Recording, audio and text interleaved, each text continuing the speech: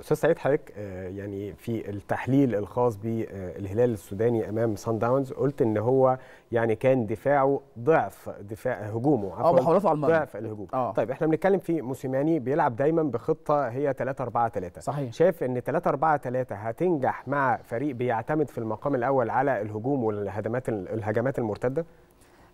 آه، بص مبدئيا عايز أقول إن إن 3 4 3 مع موسيماني في هذا التوقيت هي غير غير قابلة للتغيير أو الاستبدال آه، خاصة بس يعني أنا ليه بتكلم هنا أنا عارف اللي هو دايما ثابت عليها بس الفكرة إن عندك غيابات كتيرة قوي في الفريق.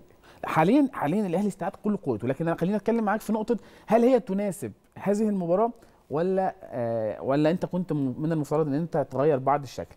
مم. أنا بشوف إن آه هذه المباراة أو المباريات الصعبة كل المباريات اللي بتلعبها خارج ارضك خاصة أمام خصوم الأقوياء دي أنسب خطة للأهلي. صحيح. يعني يمكن أنا شخصيا بختلف مع مستر بيتسو موسيماني كتير جدا في هذه الطريقة أمام الأندية المتكتلة اللي بتتراص في الثلث الأخير بعدد كبير فأنت بتحتاج تزود عدد مهاجمينك. لكن قدام خصم أساسا هو بيحاول يضغطك فأنت بالتالي مطالب بتحقيق هذا التوازن. الطريقة المرنة اللي بتتحول ل 3 4 3 هجوميا وخمسة آه، مدافعين في. الحاله الدفاعيه بعودة علي معلول ومحمد هاني في الجهة اليمنى. فبالتالي هي طريقة مناسبة جدا وهي فصلت أو يعني آه، اتعملت خصيصا لمثل هذه المواجهات. للمواجهات الصعبة المباريات اللي خارج الديار للأدوار المتقدمة كمان الوداد المغربي وصن داونز في زي ما شفنا في السنوات اللي فاتت. الخطة دي مناسبة جدا مناسبة جدا لمباراة اليوم.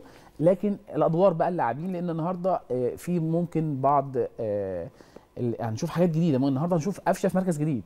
لأول مرة هنشوف النهارده قفشة آه، جناح أيمن في تشكيلة النادي الأهلي لأن خلاص موسيماني استقر على أحمد عبد القادر اللي أحرجه جدا جدا في كأس العالم للأندية قدم أداء رائع في مركز الجناح الأيسر اللي كان صحيح. بيشغله قفشة في الخطة اللي استقر عليها الفترة الأخيرة. فبالتالي النهارده يمكن يمكن قفشة. كروش هيأنا في فكرة إن إحنا نشوف اللعيبة في مراكز مختلفة فخلاص ما بقتش مفاجأة بالنسبة لنا يعني. صحيح صحيح. إحنا آه، حاليا آه، فكرة اللاعب المرن القادر على القيام بأكتر من دور وإن هو يلعب في أكتر من مركز دي حاجة خلاص العالم كله انتهجها في الفترات نعم. الأخيرة فأعتقد إنها حاجة آه، لازم نكون مستوعبينها. ولاعبتنا نكون جاهزين لده طول الوقت لكن مجدي قفشة بالتحديد لأن آه، عليه حاله جدل مصارع